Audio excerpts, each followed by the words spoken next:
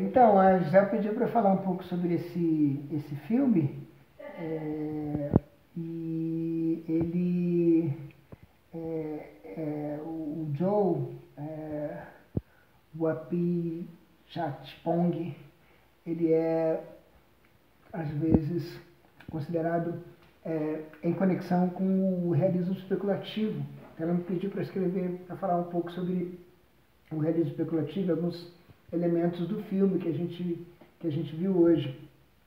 É um filme que tem esse, vocês viram, né? Tem esse polistilismo suave, sereno, em que as coisas vão se transformando é, sem grandes é, dramas e rupturas.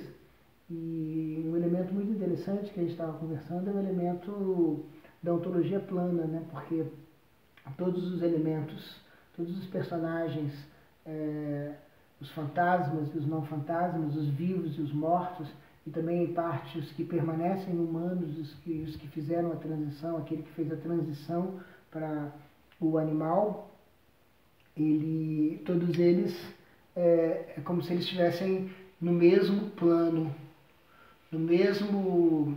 É, não tem uma hierarquia ontológica entre eles, independente do. É, independente da, da trama mesmo e das situações cotidianas em que eles estão.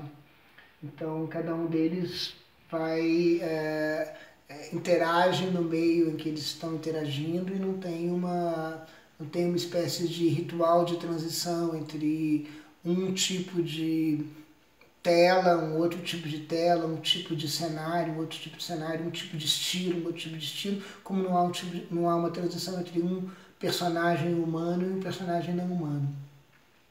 O realismo especulativo é muito é, um movimento que é muito centrado numa espécie de ressaca de início do século XXI com o, o, com a fixação no humano, né? a fixação é, do pensamento no, no que é humano, no que é, no que é do interesse humano, no que é da importância humana, no que é do acesso humano.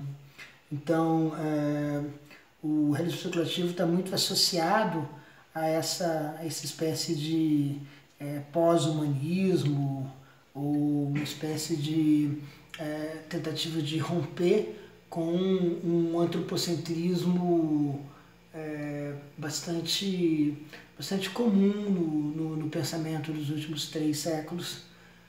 Um, é, o realismo especulativo, a época do realismo especulativo, a origem dele, é, geralmente se data no ano 2007, é, é mesmo uma época de, de ressaca disso tudo. Que é um pouco diferente, eu acho, da época que a gente está vivendo agora, em que isso já está um pouco mais é, entendido de uma outra maneira e se trata de olhar para essa época do humanismo com outros olhos, encontrando as exceções.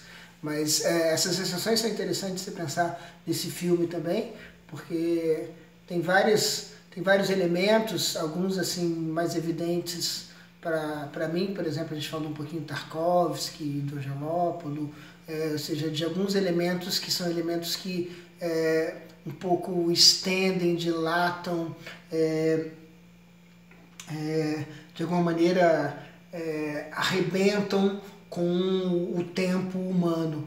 É, por exemplo, trabalhando a demora, trabalhando o, a rapidez é, surpreendente, que são coisas que, que, o, que, que esse filme, em parte, também faz referência. É, é, acho que tem muitos elementos dessa, dessa ruptura com o, com o humano nesse filme, é, e também esse elemento do animal, do, que é uma uma coisa que tem a ver com o cinema se transformar numa coisa selvagem. O, o diretor parece que estava associando a, a, esse filme ao, ao fim do cinema, em, em é, no momento em que estava todo mundo passando para o digital. É, o filme foi filmado em 2009, 2010 e, e o filho do tio Bombi, ele ele vai para a floresta com a câmara e é a câmara que transforma ele num, num outro primata, é, o, o que faz com que os olhos dele se dilatem e é, então é a câmara que faz a, a transição, o, o devir animal, se vocês quiserem, e, e, e que é um devir também completo, porque ele está lá falando com, com eles nessa reunião de família, como a gente estava comentando, que tem as fotos a serem vistas, mas ele é, é um personagem que passou por essa transição, mas essa transição não deixou ele me, menos membro da família, menos capaz de apreciar as fotos do álbum. É, então tem esses elementos todos, né?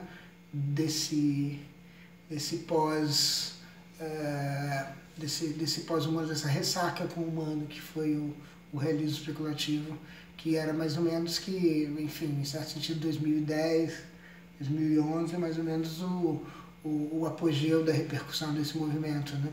que hoje um pouco já se diluiu, já se, já se quebrou em um monte de caquinhos.